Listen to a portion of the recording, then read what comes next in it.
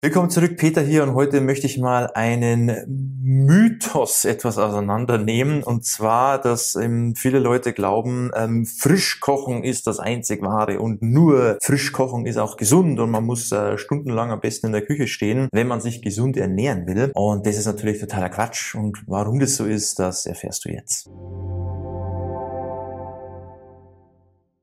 So, wie komme ich denn überhaupt auf dieses Thema? Weil ich es ähm, doch sehr, sehr häufig lese, ja, gerade so in unserer ähm, Facebook-Gruppe. Falls du da noch nicht drin bist, dann gerne mal vorbeischauen, Diabetes im Griff. Da heißt es halt oft, ja, ich ernähre mich eh gesund, ich koche immer frisch.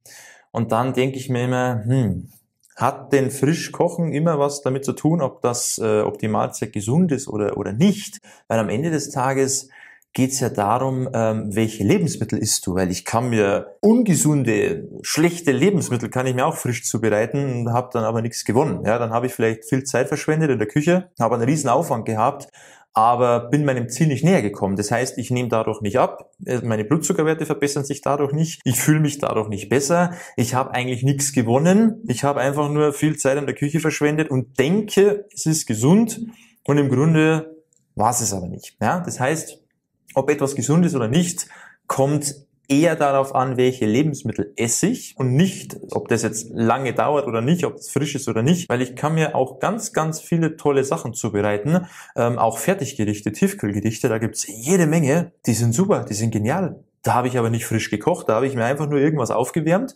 Dann kann ich mir das noch ein bisschen, bisschen anmachen mit verschiedenen Kräutern und Gewürzen, weil Geschmäcker sind verschieden und manchmal braucht es halt noch so einen kleinen, so einen kleinen Pep, damit das Ganze ein bisschen, bisschen leckerer ist, weil es soll ja auch schmecken. Und dann habe ich null Aufwand gehabt in der Küche. Ich musste nur was aufwärmen und habe trotzdem gesund gekocht, äh, gesund gegessen, ja, und, und erreicht dadurch mein Ziel, weil es gibt ja viele Leute, die haben weder Lust zu kochen, die haben weder Zeit zu kochen, die sind vielleicht auch viel unterwegs, kommen spät nach Hause, da hat man keinen Bock mehr, da will man seine Ruhe, da will man möglichst schnell, effizient irgendwas Vernünftiges essen und dann passt es. Das heißt, es könnten ja diese Leute, die gar keine Zeit zum Kochen haben, könnten ja dann faktisch nicht gesund sein, weil sie ja nie wirklich frisch kochen. Das macht ja schon mal keinen Sinn.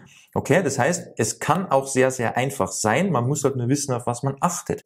Und auf der anderen Seite kann man auch sehr, sehr viel Zeit verschwenden und eine Riesenwissenschaft draus machen. Und im Grunde geht es keinen Schritt voran. Wie gesagt, man nimmt nicht ab, die Werte werden nicht besser, Medikamente kann man nicht reduzieren, es passiert einfach nichts. Obwohl man denkt, ich stecke da so viel Zeit in das ganze Thema, ich investiere so viel Zeit, ich schaue immer, was ich einkaufe, ich stehe in der Küche jeden Tag, egal ob ich Zeit dafür habe, ob ich Lust habe, ich mache das einfach und es passiert nichts.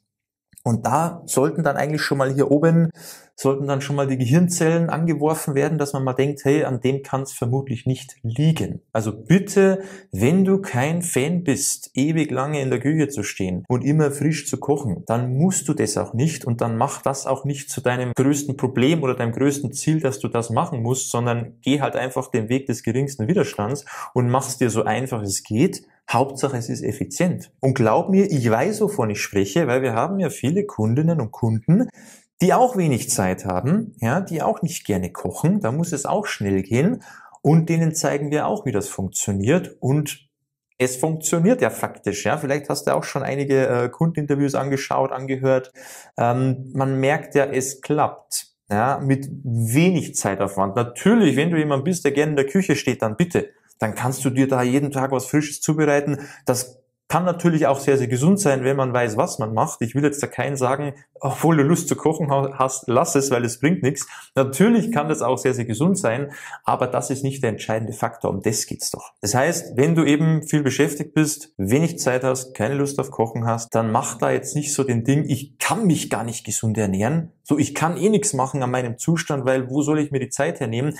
Das ist eher dann eine Ausrede, sondern sorg du einfach dafür, dass du eben effizient und einfach dir was Schnelles, Vernünftiges zubereitest und dann ist es egal, welche Tageszeit, da kommst du abends nach Hause, dann dauert es vielleicht noch, je nachdem, was du machst, das kann in 15 Minuten, also in 5 oder in 10 Minuten, kann da was super Leckeres zubereitet sein, ohne großen Aufwand und du hast gesund und lecker gegessen und du hast dich auch satt gegessen.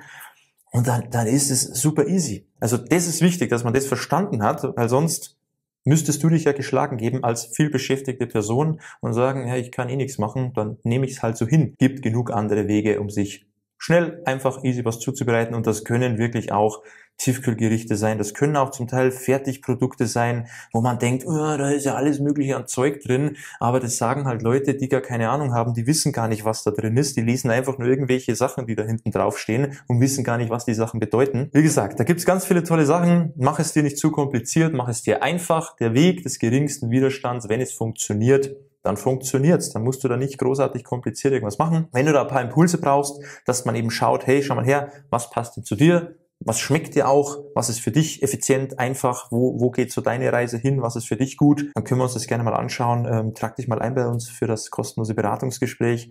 Dann nehme ich mir da mal Zeit, schau mir mal an, bist du eher so der Wenigkocher, Vielkocher, wenig Zeit, viel Zeit und dann können wir schauen, was da am besten zu dir passt. Und egal, in welcher Situation du gerade bist, wie dein Alltag ist, wir werden immer die perfekte Lösung für dich haben, dass das funktioniert. Ja, das heißt für dich Zielgewicht erreichen, halten, Blutzuckerwerte verbessern und dann natürlich auch dementsprechend Medikamente reduzieren und nicht immer mehr davon zu schlucken. Ja, weil das ist nicht der way to go, das ist nicht die Lösung für dein Problem, sondern die Lösung haben wir hier bei uns parat und die können wir dir gerne auf dem Silbertablett servieren und du darfst dann einfach nur noch umsetzen und wirst sehen, es kann super einfach sein, super schnell gehen, auch super lecker sein und dann ist das alles kein Problem. Also, geh mal auf www.peterseidel.com, trag dich ein fürs Gespräch, dann schauen wir uns die Sache an und ansonsten hoffe ich, weißt du jetzt Bescheid, dass man nicht immer frisch kochen muss. Es kann auch ganz einfach sein. Man muss halt nur wissen, auf was man achten muss. In dem Sinne, bis zum nächsten Mal und beste Gesundheit. Ciao, mach's gut, dein Peter.